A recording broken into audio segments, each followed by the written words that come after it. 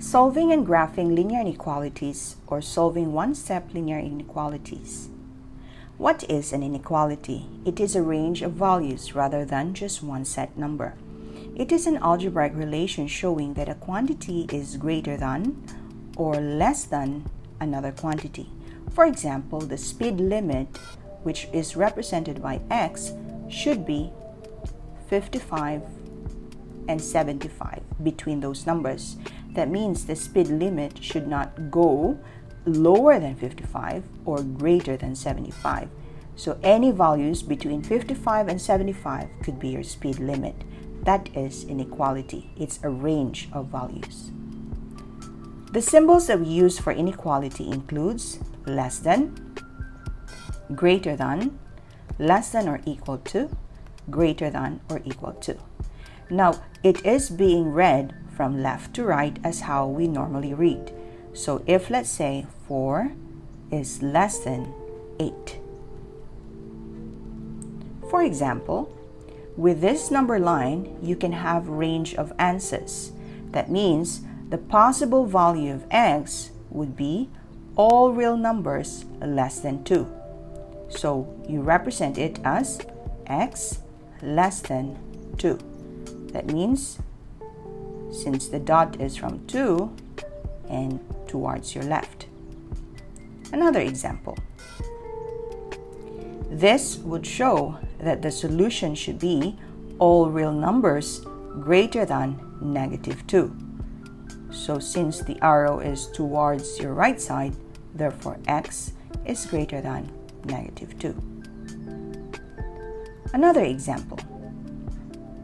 In the number line, you can draw x less than or equal to 1. So you locate 1 on your number line, draw a solid dot or a solid circle, and since it is less than, you draw a line towards the left side.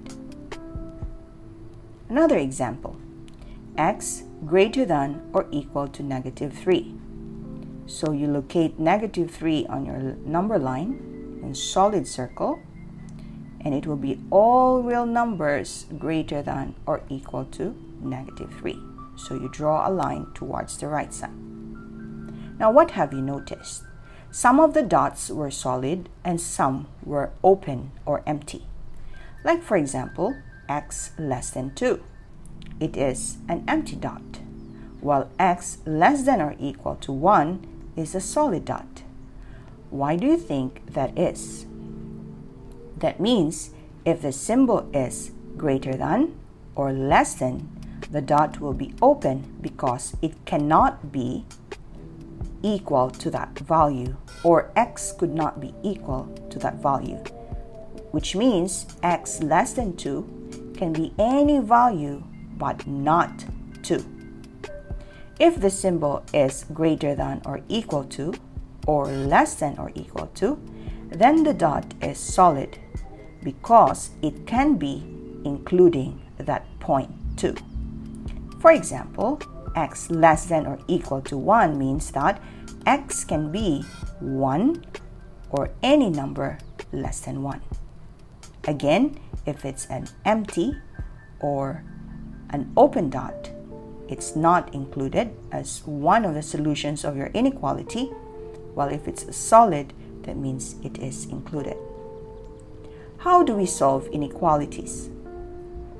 When we solve linear inequality in one variable, it is much more the same with how we solve linear equation in one variable. So what we do is we isolate the variable on one side using the inverse operation. For example, x minus 3 less than 5. So what we do is we transfer negative 3 or minus 3 to the other side of the, of the inequality. So since that is negative 3, that means it will be added. So x less than 5 plus 3. Therefore, x is less than 8. Another example, x plus 6 greater than or equal to 10. So the first step is you transfer 6 to the other side. So since that is added here, it will be uh, subtracted on the other side. So x greater than or equal to 10 minus 6. Therefore, x is greater than or equal to 4.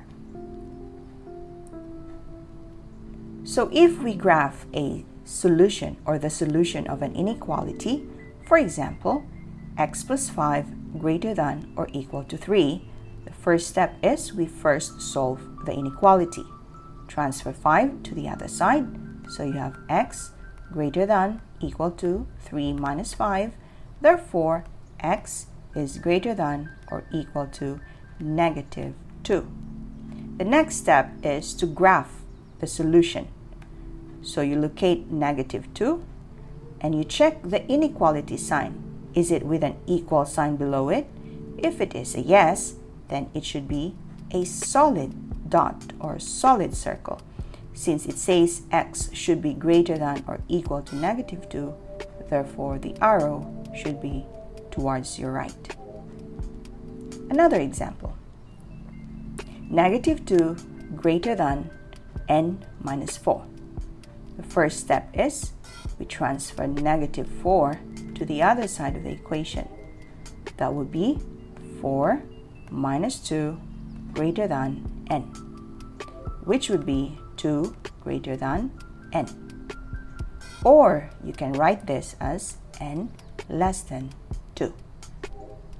So first step would be solve the inequality. The second step is to graph the solution. Locate 2 on the number line and since the inequality sign does not have the equal symbol below it, therefore it will be an empty or an open circle and it says n less than 2, so the arrow will be towards your left. Few more examples in solving inequalities. Let's say half x greater than 3. So the same thing, since this is being divided on the left side, we will transfer 2 to the other side, it will be multiplied. So x greater than 3 times 2. Therefore, x will be greater than 6. Another example 3x less than or equal to 9. So, since this is multiplied on the side, on the left side, when we transfer, it will be division.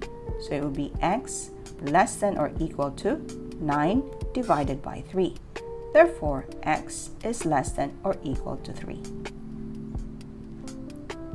Another example if you have an inequality by a negative number, that means a number that is attached to your variable is negative.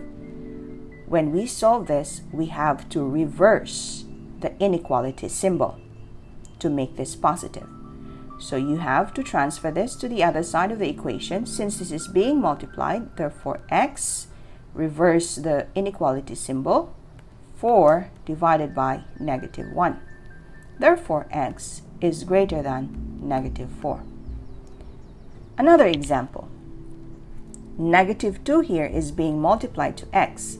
So when we transfer it to the other side of the inequality, it will be divided. So therefore, x, do not forget to reverse the symbol of the inequality.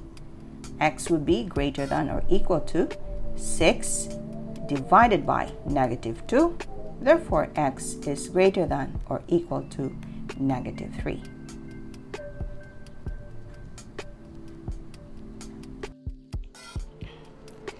I hope you have learned something new today, and I hope that you have learned as well from our Maths Easy episode today about linear inequalities. And for those that are new to my class, please don't forget to click that subscribe button and notification bell for your attendance today. And as always, as Teacher Maria would say, live your life to the fullest, learn something new every day, and love one another as how our God loves us. See you next episode for our Maths Easy series. Bye!